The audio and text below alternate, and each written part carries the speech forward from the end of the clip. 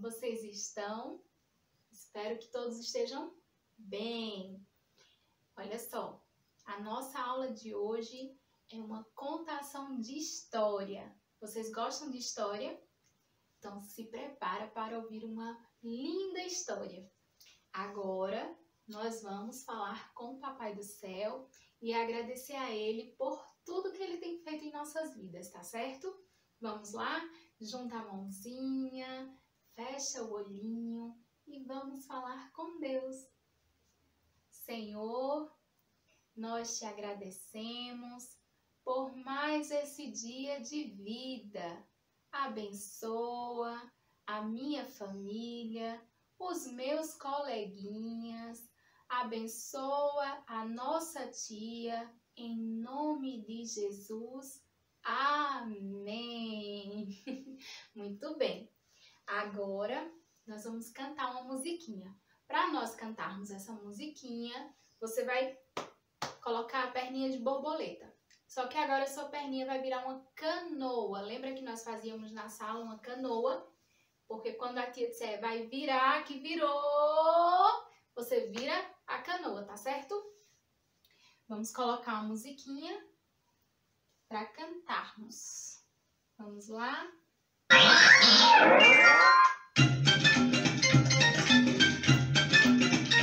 Dançando, hein?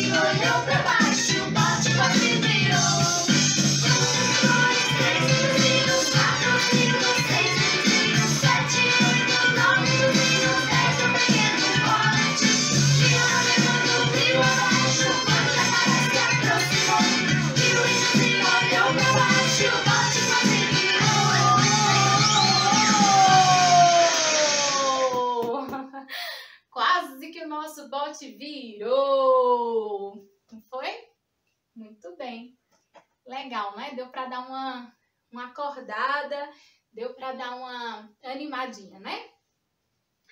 Olha a nossa caixa de história como ela está linda. A nossa história de hoje é uma história bem conhecida. Eu tenho certeza que você já deve ter ouvido falar nessa história. Aqui tem um castelo. Se tem castelo, provavelmente a nossa história deve ter uma princesa. O que, é que vocês acham? Do outro lado tem uma floresta. Qual será a história? Deixa eu mostrar uma, das, uma dos personagens, ó. Agora todo mundo descobriu, né? Branca de Neve. A história da Branca de Neve. Branca de Neve era uma menininha muito amável. Ela morava nesse castelo. O nome dela era Branca de Neve porque ela era muito branquinha, parecendo com a neve. Então foi por isso que ela ganhou esse nome, Branca de Neve. Ela morava no castelo junto com a sua madrasta. A sua madrasta morava junto com ela no castelo. Todos os dias, a madrasta da Branca de Neve se olhava no espelho e falava: Espelho, espelho meu, existe nesse mundo alguém mais bela do que eu? E o espelho sempre respondia: Não, você é a mais bela deste reino. E ela ficava muito feliz e contente. Certo dia, o espelho conheceu a Branca de Neve. Sim, ele conheceu a Branca de Neve. Quando a rainha chegou lá e perguntou para o espelho: Espelho, espelho meu, existe nesse reino alguém mais bela do que eu? Então o espelho respondeu: Sim, a Branca de Neve é mais bela que você, minha rainha. A rainha ficou muito furiosa. Ela ficou com muita raiva e ao mesmo tempo com muita inveja da Branca de Neve, porque ela queria ser a mais linda do reino. Então, ela fez com que o caçador levasse a Branca de Neve para o meio da floresta e deixasse-a perdida. A Branca de Neve não sabia onde estava e ficou perdida na floresta. A rainha achava que com isso o espelho não ia saber que a Branca de Neve não ia mais dizer que a Branca de Neve era mais bela do que ela, porque a Branca de Neve estava distante, desaparecida, então ele não ia mais falar isso. A Branca de Neve estava perdida quando então ela encontrou uma casinha muito pequenininha e ela resolveu bater na porta. Toque, toque. Mas ninguém apareceu, ninguém abriu a porta. Então ela, ó, abriu a porta, entrou na casinha para ver quem morava dentro. Quando ela entrou, viu tudo muito pequenininho, sofá pequenininho, uma mesinha pequenininha. Ela achou tudo muito estranho. E então ela resolveu sentar um pouco. Só que ela estava tão cansada, tão cansada de andar perdida pela floresta, que acabou adormecendo. Ela dormiu e então os donos das, da casinha que estavam trabalhando chegaram em casa. Eles eram conhecidos como os sete anões. Um, dois, três, quatro, cinco, seis, sete, os sete anões. Chegaram em casa, que abriram a porta, viram a Branca de Neve deitada no sofá. Eles ficaram admirados, olhando a beleza daquela garota.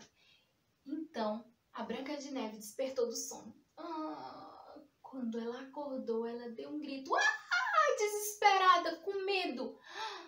E aí, eles acalmaram ela e disseram que a casa era deles.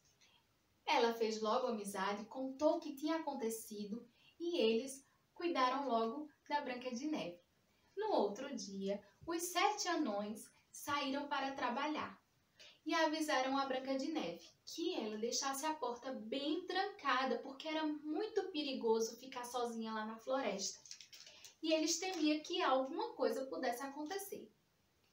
Mas Neve estava tão grata, tão grata pela atitude que eles tiveram de deixá-la em sua casa, que ela foi dar uma organizadinha na casa. Só que quando a Branca de Neve estava na frente da casa conversando com os animais, eis que apareceu uma senhora, mas era a bruxa má disfarçada. Ofereceu para Branca de Neve uma maçã, mas não era feito essa não, viu? Era uma maçã bem feiosa. Mas a Branca de Neve nem percebeu, porque a maçã estava enfeitiçada. Era a madrasta que tinha se transformado em uma senhora porque estava com muita inveja da Branca de Neve e ela ainda percebia que a Branca de Neve estava por perto. Então, quando a Branca de Neve deu uma mordida na maçã, ela caiu num sono profundo. A rainha malvada voltou para o castelo, muito contente, achando que agora só ela era a mais linda do reino. Branca de Neve ficou adormecida. Os sete anões, quando voltaram para casa, tentaram acordar a Branca de Neve, mas desesperados não conseguiram. Ela continuava dormindo. Só um príncipe conseguiria acordar a Branca de Neve. Então, eles procuraram por toda a floresta um príncipe que pudesse acordar a Branca de Neve. E foram para o reino. Chegando lá, encontraram um belo príncipe que se dispôs a beijar sua amada. Quando o príncipe chegou, logo encontrou a Branca de Neve. Quando ele a abraçou, ela despertou do sono. Lá no castelo, a bruxa malvada estava toda feliz em frente ao seu espelho. Quando ela colocou e perguntou ao espelho: Espelho, espelho meu, existe nesse reino alguém mais linda do que eu? O espelho responde: Sim, a Branca de Neve. Como assim? Ela comeu a maçã, ela nem existe mais. Muito brava, ela falou com o espelho. E o espelho disse: Não, a Branca de Neve está viva. O príncipe a salvou. Ela, de tanta raiva, quebrou o espelho, ficou muito furiosa. Mas a Branca de Neve voltou para o castelo e tomou seu reino, onde ela viveu feliz para sempre com o príncipe. Gostaram da história? Bem legal, não é? Agora, eu quero ver se vocês estavam realmente prestando atenção na história que a tia estava contando. Quantos anões a tia falou na historinha? Quantos anões? Hum, quantos? Sete? Tem certeza? Vamos contar? Vamos lá? Um, dois, três, quatro, cinco. E agora? Seis, sete. Quantos anões na história? Sete anões. Muito bem. Esse aqui é o número sete. Na historinha que a tia contou, tinha sete anões. Muito bem. Agora, vocês estão vendo aí a minha árvore. Quantas maçãs tem na minha árvore? Quem sabe me dizer? Quantas maçãs? Eu espero vocês contar. Vamos lá? Vou ajudar, tá bom? Quando eu tocar na maçã, você vai contando comigo. Ok? Vamos lá? Uma, duas, três, quatro, cinco, seis, sete. Quantas maçãs? Sete. Muito bem. Na minha árvore tem sete maçãs. Agora, eu vou mostrar a vocês uma atividade que vocês podem estar fazendo em casa com a ajuda de um adulto. A tia usou copinhos descartáveis, aqueles copinhos de café. No fundo eu coloquei os números, ó. Um, dois. Que número é esse? Cinco. Sete. Seis. Três. Quatro. Você vai colocar no fundo do copinho os numerais. Em uma outra folha, você vai colocar, fazer círculos e colocar a quantidade. Olha que brincadeira bem legal. Aí você vai contar a quantidade e procurar o número correspondente no fundo do copo. Vamos lá? Eu vou começar e aí em casa vocês fazem comigo, tá certo? Vamos lá? Nesse primeiro círculo, qual a quantidade de pontinhos? Conta comigo. Um, dois, três, quatro, cinco, seis. Qual o copinho do número seis? Esse? Não. Número seis. Esse. Coloca o copinho aqui. E esse outro? Um, dois. Copinho de número dois. Qual a quantidade desse outro? Um, dois, três, quatro. Vamos procurar o número quatro. Esse é o número quatro? Não. E esse? Esse é o número quatro. Coloca aqui. E aqui? Quanta, qual a quantidade de pontinhos? Um. Vamos colocar o copinho de número um. E vamos contar aqui. Um, dois, três. Copinho de número Três, muito bem. E aqui? Um, dois, três, quatro, cinco. E esse? Que número é esse? Esse aqui é o número sete. Quantos, quantos pontinhos tem aqui? Vamos contar? Um, dois, três, quatro, cinco, seis, sete. Olha que brincadeira legal. E aí depois você mistura os copos novamente e vai fazendo a contagem da quantidade e procurando o numeral e colocando no local. Gostaram? Façam em casa, brinquem bastante, tá certo? E mandem as fotos que eu quero ver. Na atividade do livro, vocês vão abrir lá na parte de numerar na página 32 e vão colocar a quantidade correspondente aos pontinhos, igual a gente fez aqui na brincadeira do copo, tá certo? E a página 33 também é para fazer os pontinhos. Na folhinha, você vai procurar aqui a atividade da historinha que a tia contou da Branca de Neve e os Sete Anões e responder quantos anões haviam na história que vocês já acertaram, que é 7, tá certo?